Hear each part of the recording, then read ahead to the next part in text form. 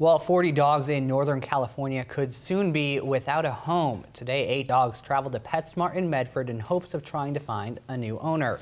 Well, officials at Dexter's Rescue Remedy Shelter in Horse Creek say they're being kicked out of their current rental space because the landlord wants half of their profits from that rescue. Now, shelter officials say their biggest concern right now is trying to find a place for all of their dogs.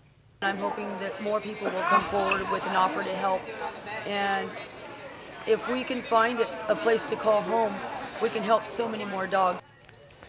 Now today, three dogs were successfully adopted with new owners. The group plans to return to PetSmart tomorrow. If you'd like to learn more about the shelter or tomorrow's event, we'll post their contact information onto our website. That's on your screen, KOBI5.com.